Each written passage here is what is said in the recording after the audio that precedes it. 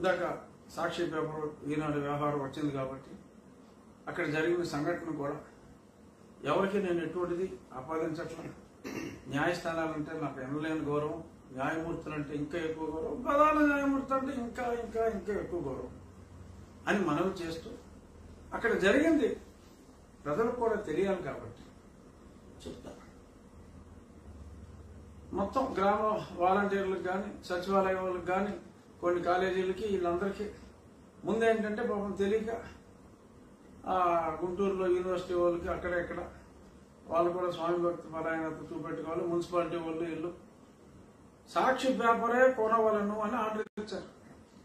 Order కూడా కోర్టులో present చేశారు. అదొక సింగిల్ బెంచ్ దగ్గరికి వచ్చింది.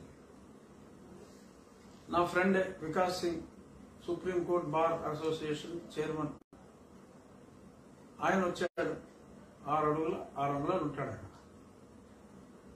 ఆజానుభావుడు విశాలవక్షుడు ఆయన వచ్చాడు. సింగిల్ జడ్జిగా గారు పేర్లు అనవసరం బెంచ్లో ఆయన కూర్చున్నాడు వాదనలకి ఈలోపు ఐ థింక్ ఏజీ గారే అనుకుంటా పెద్దలు జ్ఞానశూన్య ఆయన వెళ్ళారు. వెళ్ళి చీఫ్ జస్టిస్ గారి బెంచ్లో అయ్యా ఈ సాక్షి ఈనాడుకు సంబంధించిన మ్యాటర్ ఉంది. అది మీరే వినాలి. ఏదో గతంలో ఇంకేదో అసలు అసంబద్ధమైనది ఏదో అక్కడ ఏదో పెండింగ్ ఉందన్నట్టు ఏదో చెప్పినట్టున్నారు. అక్కడ item about to come Supreme Court Bar Council chairman అక్కడ కూర్చుని ఉన్నాడు ఆర్గ్యూ చేయడానికి ఇంతలో ఈ రెడ్డి గారు సుధాకర్ రెడ్డి గారు వచ్చి ఇక్కడ సరే ఇది మీరు వినాలి అని చెప్పి అంటే తక్షణం అరక్షణం ఆలస్యం చేయకుండా ఆ ఫైల్ ఫైల్ బలంగా ఇక్కడ తీసుకొచ్చామన్నారు. వికాస్ సింగ్ ఇదిగో ఆ కేసు ఇక్కడి నుంచి ఇక్కడ మారిపోయింది అన్నారు ఇప్పుడు చరిత్రలో జరగదు. జరగదు అసలు. ఎందుకంటే రాష్ట్ర హెడ్ చీఫ్ జస్టిస్ గారు ఆయన రాష్ట్ర హెడ్గా ఒకరు నియమించిన తర్వాత ఈ కేసు నాది అని చెప్పి అంటానికి లేదు. అంటే నాకు తెలిసిన న్యాయం ప్రకారం. అదే ప్రశ్నించాడు వికాస్ సింగ్ గారు. అదేంటి ఆఖరి నిమిషాలు అక్కడి నుంచి ఇక్కడికి వెళ్ళమారుస్తారు అని అంటే ఏ నా దగ్గర ఆర్గ్యూ చేయడానికి నీకు ఏమన్నా ఇబ్బందా యు ఆర్గ్యూ ఇది మై డిస్క్రిప్షన్ అన్నారు. డిస్క్రిప్షన్ ఉంటే ఉండొచ్చు కానీ ఇది పద్ధతి కాదు అని ఆయన చెప్పవలసింది. వికాస్ సింగ్ గారు చెప్పారు. అయినప్పటికీ చీఫ్ జస్టిస్ గారు వర్డ్ ఈస్ ఫైనల్ ఆయన విన్నారు గుంటూరులో డైరెక్ట్గా జీవో ఇచ్చారు. అయినా సరే మేము ప్రభుత్వం అయితే ఏ పేపర్ అయినా కొనుక్కోవచ్చు అన్నాం. సాక్షి పేపర్ అయినా కొనాలని అనలేదంటే. ఇంటర్వ్యూ మాట ఏమీ ఇవ్వకుండా ఓకే మ్యాటర్ వింటాను అని.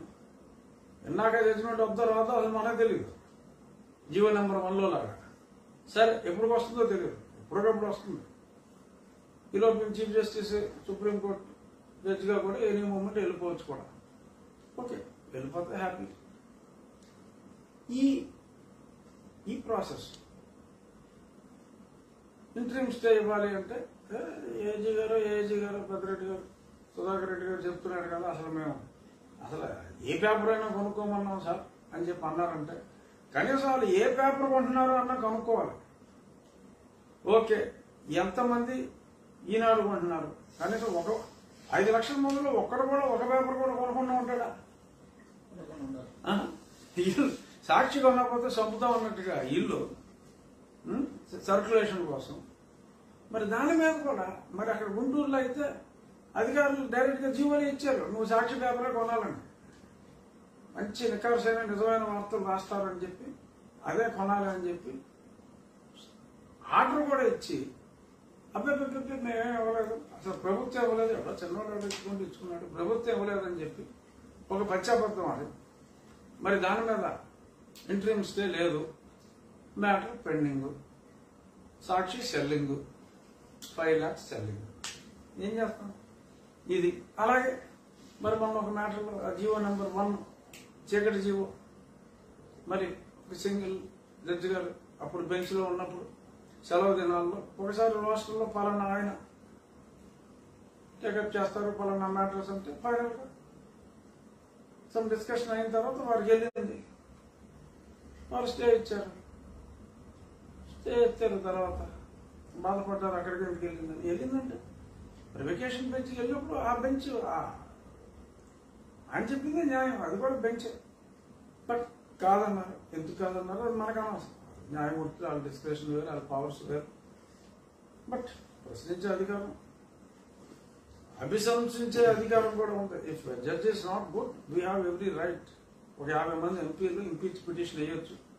ఇంపీచ్ పిటిషన్ వేస్తే ఇంకా ఓకే అప్పుడు ఇంకా ఎక్కువ మంది టూ థర్డ్స్ సపోర్ట్ చేస్తే ఒకళ్ళిద్దరు జడ్జిలకు ఉద్యోగాలు పోయినవి కూడా ఉన్నాయి. అంటే వాట్ ఐఎమ్ సేయింగ్ ఈస్ మేమేమి శక్తిహీనులు కాదు. ఎంపీలు మాకు కొన్ని పవర్స్ ఉంటాయి అలాగే కొన్ని పవర్స్ ఉంటాయి. బట్ మా లిమిట్లో మేము ఉండాలి. అందరి లిమిట్లో అందరూ ఉండాలి. అంతే. అక్కడ మరి ఆయన అప్పులు కాదని ఇంటర్వ్యూ స్టే లేదని ఓకే అదే డిస్క్రిప్షన్ ఉంది తొమ్మిది నెలలో ఆరు నెలలో ఎప్పుడో ఆర్డర్ వస్తే అప్పుడు మనం సుప్రీంకోర్టుకి వెళ్తాం. ఇంత ఆలస్యం జరుగుతుందని మరి నిన్న పెద్దలు ముప్పాల సుబ్బారావు కానీ సిపిఐ సిపిఎం వీళ్ళు శాంతియుతంగా ఏదో చేద్దాం అనుకుంటే మళ్ళీ వాళ్ళని చేశారు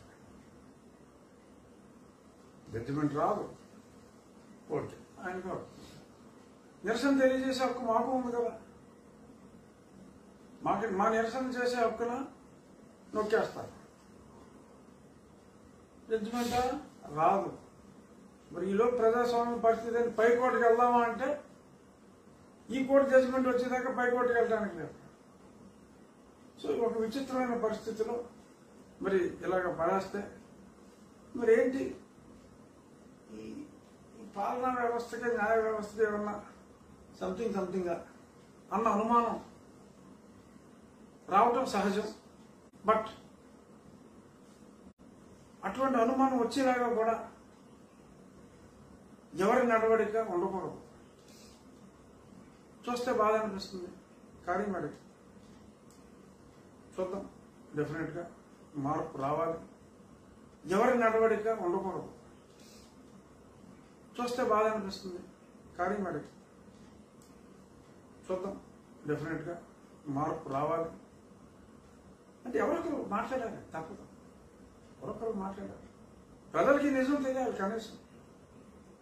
ఆ రోజు ఒక సింగిల్ జడ్జి బెంచ్ దగ్గరికి వచ్చిన మ్యాటర్ అప్పుడుకప్పుడు హుటాహుటిన అరగంట గ్యాప్లో బెంచ్ మారింది. ఎందుకు మారింది అనేది వివరించాలి. తెలుసుకోవాల్సిన అవసరం ప్రజలకు ఉంది అందుకని చెప్పి కొన్ని కొన్ని స్పష్టంగా